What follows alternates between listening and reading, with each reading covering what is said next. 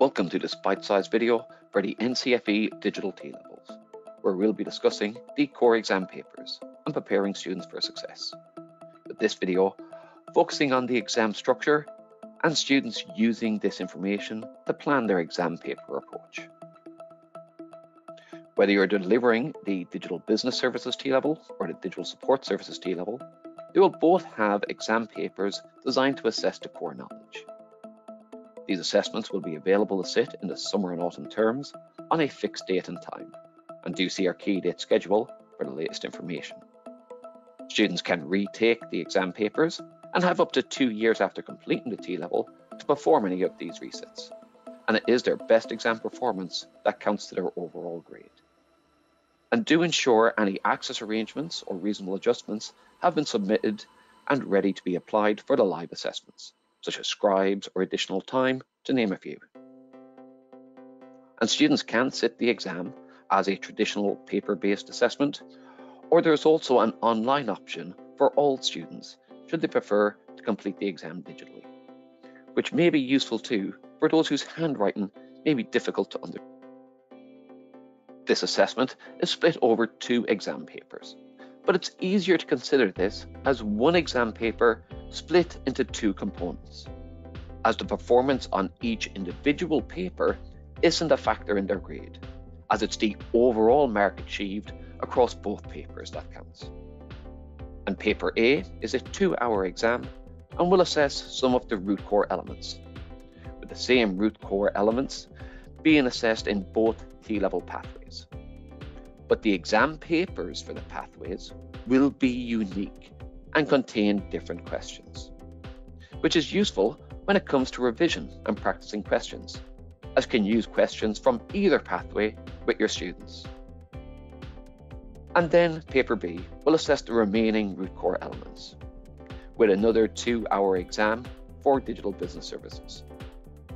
But as digital support services has got an additional and unique pathway content that is also being assessed in paper two, it is an extra half hour longer in order to account for this content. And those core knowledge elements are comprised of the 12 route core elements, those elements that are common to both T-level pathways.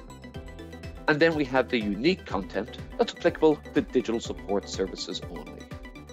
But regardless of the pathway, the exam papers are designed to assess the following three objectives, which have varying levels of demand with the lowest demand being AO1, assessing the student's ability to recall the relevant knowledge to address the questions, making up 28% of the exam paper.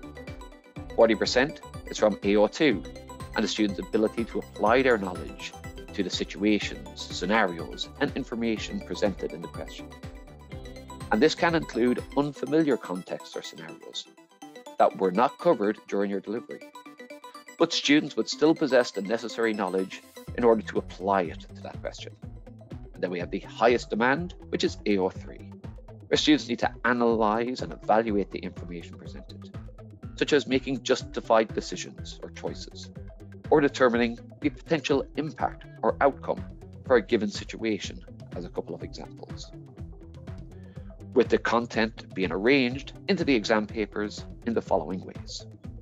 With paper A having three sections assessing the six route core elements shown. And while digital business services and digital support services pathways, they will have unique papers and questions, they will both have this same structure and layout. And paper B also follows a similar pattern, with three sections assessing the same two route core elements each. But for digital support services, there is an extra section at the beginning of paper B which will be assessing the content from the three unique core pathway elements. And knowing which elements are assessed and where in the paper they're assessed is the first tip for students. And performing a self-evaluation of the content each section will assess can actually help them to identify where is best to begin. And it's often best for students to start on the exam section they're more confident on and the questions they're more likely to answer correctly, as this can have a settling effect and a positive effect as well on the student's performance during their exams. And the level of detail captured can be varied by using templates to capture more specific information or evaluating the content at a more granular level. This self-evaluation can be coupled with your own internal data too, and any formative assessment activities in order to help advise students on their exam plan. And when it comes to the exam paper sections themselves, they're all designed to assess the different assessment objectives. But the sections will always begin with the lower demand questions and an increase in the demand towards the end of the section, with the other sections following that same low to high demand structure.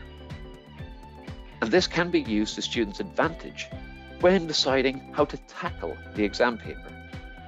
As often, the general approach is just take each question in turn, which would mean going from low demand to high demand questions, then starting again with low demand in the next section and ending with high demand, and so on.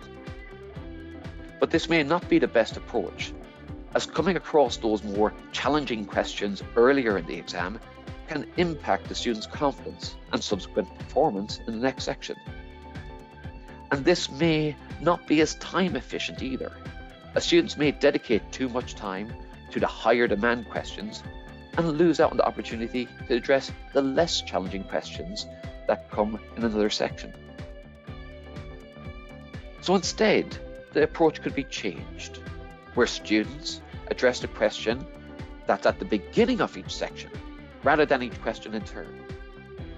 This way, the lower demand questions will have been addressed first, leaving all the higher demand ones until the end, which can have a positive impact on the student's confidence and performance in the exam. And then adopting a pick and choose approach to those more challenging questions and dedicating their time to those they feel most confident on and those most likely to answer correctly. And using the self-evaluation mentioned earlier could also help to identify which section they're more likely to perform best on. We hope you found this useful and have a better understanding of the core exams. And do see our other bite-sized videos that form part of this exam preparation series. Thank you.